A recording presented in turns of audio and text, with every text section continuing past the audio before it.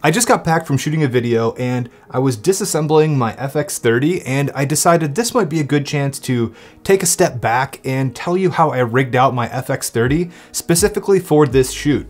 This was a longer shoot with some branded content. If you would like to see some behind the scenes stuff, let me know in the comments down below and uh, maybe I'll take like a second or third shooter and film some behind the scenes stuff. But back to the FX30.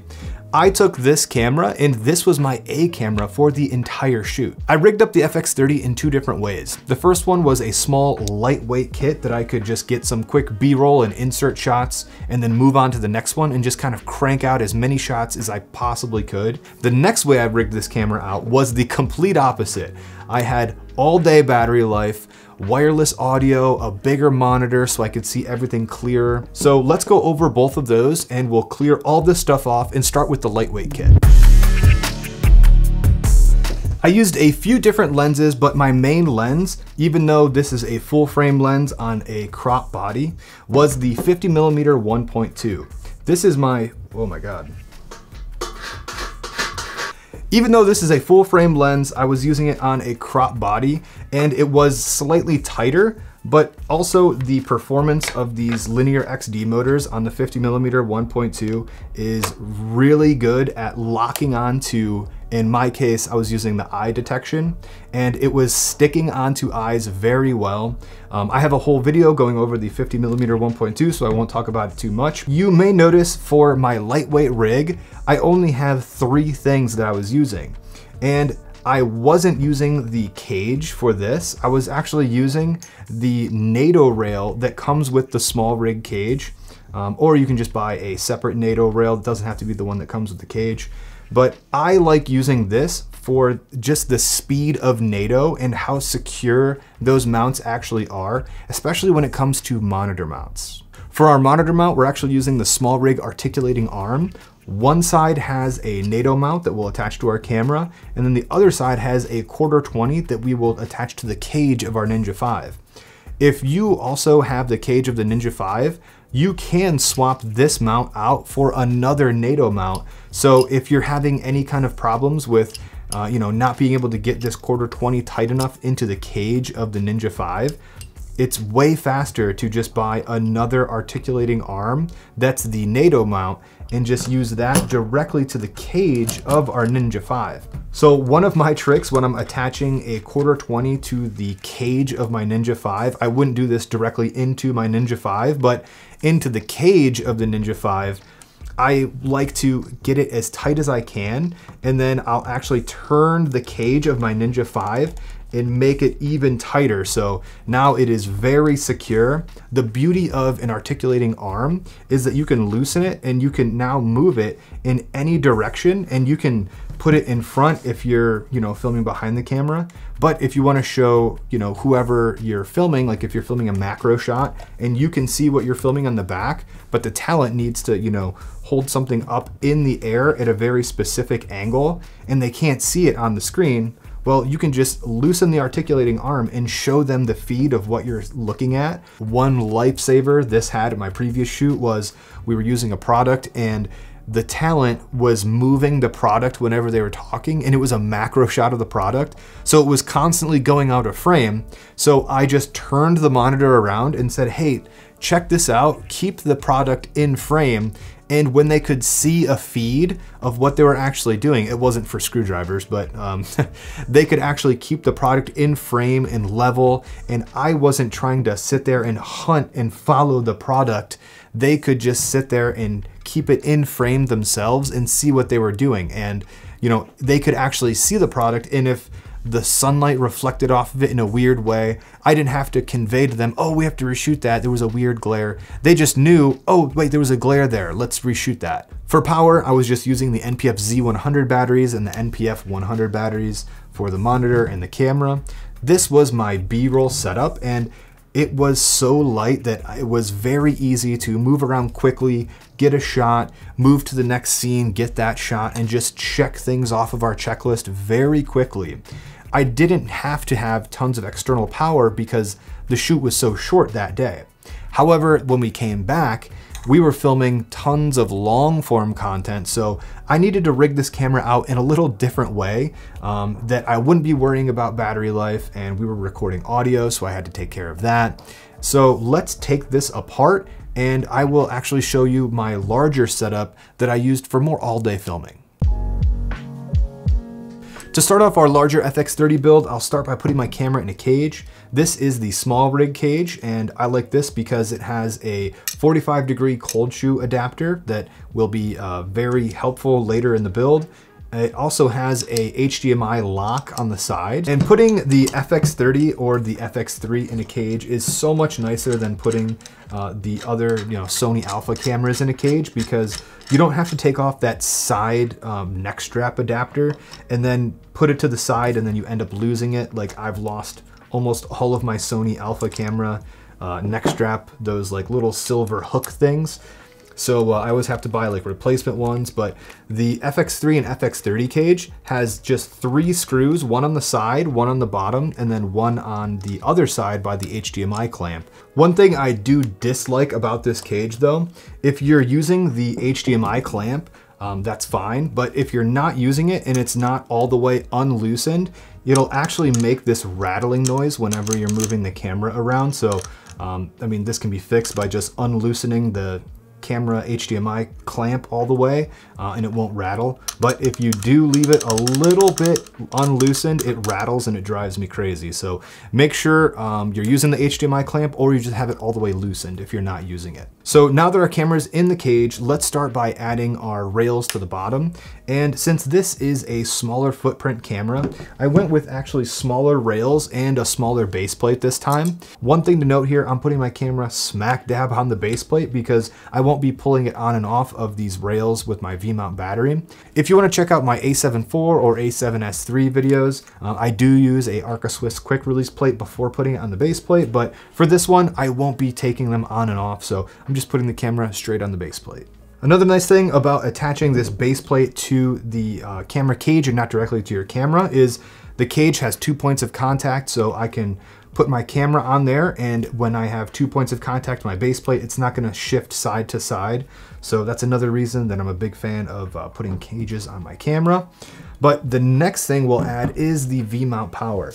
And for this build I also went with a smaller V-mount battery plate um, because all of the batteries I've been using lately actually have DTAP and USB-C power delivery out ports like this FX Lion Nano 3.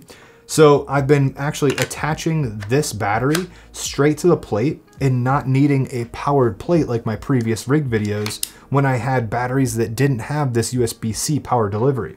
These batteries are more expensive, but I find that I can charge these with USB-C and I don't have to charge them via DTAP, so it's just easier for me because I always have a USB-C cable laying around.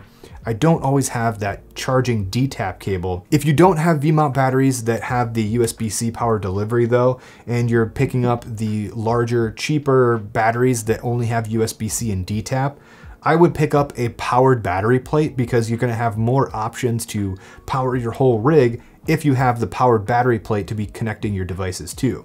Um, this one is about as basic as it gets. It's just kind of a V-mount cheese plate adapter to connected to some rail mounts. Um, let's put this on. It's pretty straightforward. And one thing that I always forget to do is actually flip out your screen and then put your V-mount battery adapter on the back of your camera.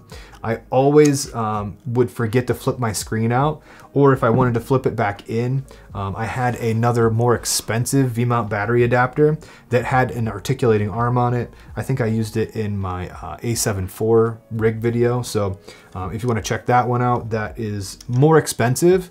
So if you have those cheaper batteries, maybe you can get a more expensive V-mount battery plate to kind of power your whole rig. Um, but this one is about as cheap as it gets, like I said, and it's nice because it's just a cheese plate on some rail mounts, so you can put this on and it's very sturdy. So now we can attach our V-mount battery to the back. And like I said, I'll just be using my V-mount battery inputs to power all of my devices. Another thing I attach to all of my cameras is a top handle. I like having a top handle not only for another you know way to grab your camera especially once you start powering all these devices. There's a lot of wires and stuff hanging around. And after this is tight I can attach my articulating arm. But this time I will be actually flipping this around. So this is why I got this um, specific um, articulating arm. Instead of getting two NATOs I got one NATO so it can go to my monitor. And then this time I'll actually be using the quarter 20 to attach to one of these quarter 20 mounting points on the top handle. I've used the ones on the side here, but uh, for this one, I'll actually put it on the top. So there are plenty of quarter 20 mounts to choose from. And uh, again, like I said, my little trick to get this really tight because uh, you know, this isn't going into a camera, it's going, you know, metal to metal into a top handle. I can really kind of wrench this thing on and make sure it doesn't twist around. I'll turn it uh, as tight as I can get it and leave it about 45 degrees. And then when this is locked, I'll actually turn the whole thing and really secure it in. So now if I'm out using my monitor, um, you know, and I'm, you know, moving the camera around, it's not going to actually move my monitor. What's one of my biggest pet peeves is when my monitor breaks loose whenever I'm filming something. It just is a terrible feeling. So now I will use the NATO rail on the bottom of my monitor mount to the NATO rail on the top mount here. And like I said, this just screws right on and that is very secure. I've been using the DJI mics for my wireless audio and I've had a great experience with them so far.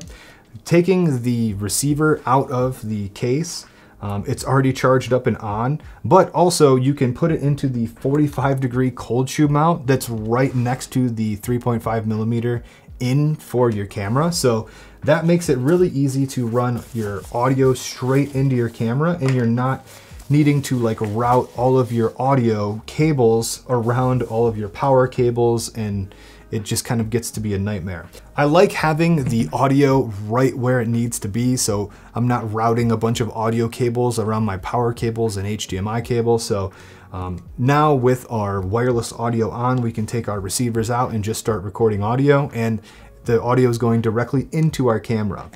One other thing about this cage that I am not a fan of is that this cold shoe adapter with this DJI mic, for some reason, it's just a little tiny bit loose. So if you're really running out and you snag this cable, you have the possibility of actually taking this DJI mic out of the cold shoe adapter. Um, I haven't had that happen to me, but I knew that. And so I was using this um, top handle specifically because it has a cold shoe adapter in the back. So you can actually put this um, cold shoe adapter into the DJI mic and now it is very secure since the cold shoe is going like a U and you're just putting this straight down. So gravity is keeping it down. Sorry to go on a tangent of uh, mic placement, but I just thought it was something worth noting. Next, we will add all of our cables and we will start by powering our camera with our V-mount battery. Another reason I like using the USB-C power delivery is that if we have our camera turned on and for some reason our power delivery gets interrupted, we still have a battery in the camera. If we were using a dummy battery, this power would be interrupted and if we're filming, our file would be corrupt. However, if we have a camera battery in the camera still, it'll just pull over to that internal power and keep recording even if our external power gets interrupted. The more I talk, the more I lose my voice. the next thing we'll be powering up is our monitor. And in our case, we're using the Ninja 5. And this comes with the um, DC barrel connector to NPF battery plate. So we'll be using a, I think this is an Alvin's cable uh, barrel connector uh, DC power to D-tap. So I'll link this in the description down below. Um, I just found this cable and I'm a very big fan of it. Before I was using um, kind of a cheaper cable um, not that this is one is like super expensive, but it is a more premium cable for a D-tap cable that I've ever used. So with our D-tap side into our FX Lion Nano 3, we will coil this around the handle once and then plug the locking side into our uh, Ninja 5 battery plate. And this is nice because uh, it has that locking adapter just like the original Atomos one does. So um, your power is secure to your Ninja 5. So next we will take our HDMI cable from our camera to our monitor. This should be a simple process, but I have a couple of different uh, HDMI cables that depending on what I'll be doing with this um, rig, I actually use different ones. So uh, the first one I have is the tried and true uh, Kondor Blue HDMI cable. So if I'm keeping this uh, monitor pretty close to my camera and I won't be moving it, I will use this Kondor Blue HDMI cable. And this one is capable of shooting ProRes RAW to the Ninja 5. If I will be moving my camera around, I'll actually use a little bit longer of a cable. And if you know, on the last shoot, I used this cable and uh, you don't need a right angle cable, but it does keep things a little bit more tidy. So I plugged the right angle cable into my Ninja 5 and then I just had some extra slack, um, probably not the best practice. Probably could have got a little bit shorter of a cable, but um, I just wrapped it around the handle a little bit. Probably not the best wire management, but um, I wrapped it around the handle and then plugged my HDMI cable in and then clamped this HDMI cable down. So that is secure.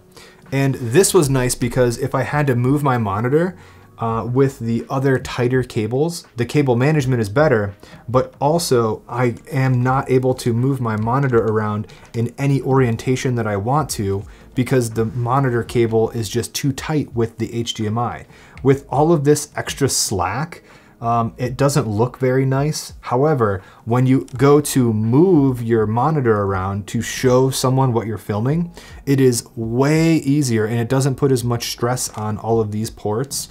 Um, I had this HDMI cable left over from another uh, larger build for my FX6, so it really uh, is maybe a little bit too long for this one. I'll link this one in the description below, this right angle cable, and uh, maybe there'll be like a shorter option that you could purchase, but I'm a very big fan of uh, this specific right angle cable because it is going the right way, that it's coming 90 degrees out of your monitor and coming straight down. I purchased other 90 degree cables before and it was the other way. It was 90 degrees and it was going straight up. So um, that cable management wasn't very tidy. I'm not saying this is any better, but um, I've actually used this one. I am not able to record ProRes RAW with this 90 degree cable though if you need to record ProRes RAW, I would say the safest bet is to pick up the Kondor Blue cable. This isn't sponsored by Kondor Blue. I rarely find myself anymore shooting um, ProRes RAW. I find myself shooting the um, All-I codec.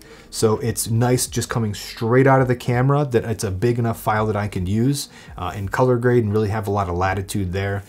So this is the FX30 build. This is the exact build that I used to shoot my last project with, and I challenged myself to shoot with the FX30 because I'm so used to shooting with uh, my FX6 or my A7S III or FX3. Shooting on a smaller sensor doesn't mean you're going to get smaller results.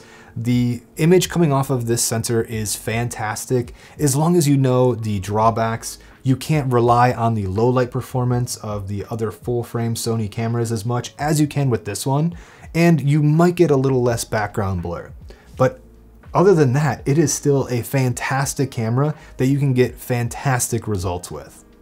Also, if you would like to see some more behind the scenes content, let me know in the comments down below. I've always wanted to make some more behind the scenes content, but uh, it just get caught up in gear and kind of, you know, shiny object syndrome. So uh, that's the videos that I kind of tend to make on this channel. Never uh, how I intended this channel to go, but um, that's just kind of the, the path I've been taking lately. So if you'd like to see more behind the scenes content of, you know, me actually shooting stuff and like what I'm doing and maybe like the reasons why I'm doing certain things, uh, let me know in the comments down below and uh, I would love to make those videos.